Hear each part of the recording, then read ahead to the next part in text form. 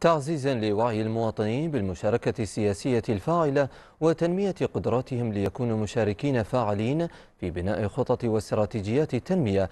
ألقت معالي نور الكعبي وزيرة الدولة لشؤون المجلس الوطني الاتحادي محاضرة في جامعة عجمان بعنوان تنمية الوعي السياسي لطلبة الجامعة. إيمانا بأن شباب الإمارات هم عماد المستقبل والأمل والمحرك الرئيس للابتكار والتنمية المستدامة.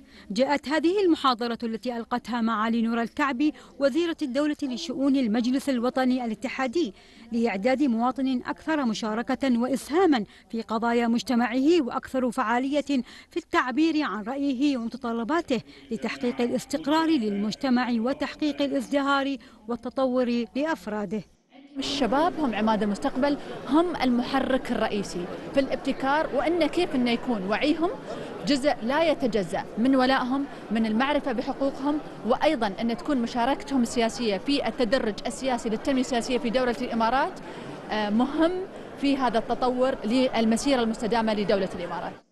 المحاضرة ركزت على المشاركة السياسية كثقافة راسخة وقيم متأصلة في الموروث الثقافي لدولة الإمارات التي أولت الشباب اهتماما من خلال تمكينهم وفتح المجال أمامهم للمشاركة في مسيرة التطوير والتنمية التي تشهدها الدولة في كافة المجالات الاجتماعية والسياسية والإقتصادية. هيدا كمان يدل على أنه الشباب مصر أنه يلعب دور إيجابي في المستقبل.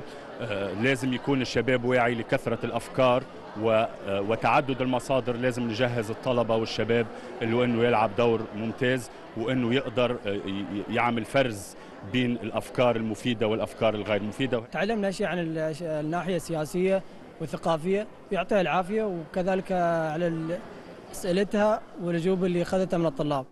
كما وتضمنت المحاضرة خلال النقاش دور المجلس الوطني الاتحادي الذي يعد منصة لمناقشة القوانين الاتحادية ونافذة لنقل قضايا المواطنين واحتياجاتهم ورفع قضاياهم إلى صناع السياسات والقرارات في الدولة بما يسهم في تلبيتها. تهدف محاضرة معالي الوزيرة نورة الكعبي بأهمية زيادة الوعي السياسي لدى طلبة الجامعات بما يدعم المسيرة السياسية في الدولة.